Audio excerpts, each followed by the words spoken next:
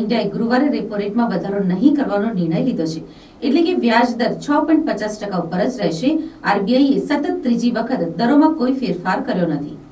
આરબીઆઈના governor Shashikant દાસે આજે monetary પોલિસીની બેઠકમાં લેવાયેલા નિર્ણયોની માહિતી આપી હતી. આરબીઆઈએ નાણાકીય વર્ષ two thousand twenty three twenty four માટે ફુગાવાના અનુમાનને પાંચ પોઈન્ટ એક ટકાથી વધારીને પાંચ પોઈન્ટ ચાર ટકા કર્યો છે.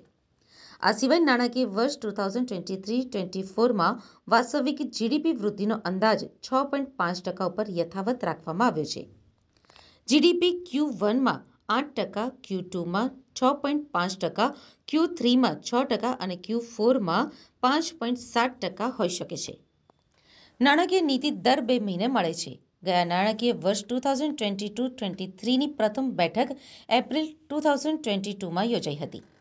ત્યારબાદ આરબીઆઈએ રેપો રેટને ચાર ટકા ઉપર સ્થિર રાખ્યો હતો.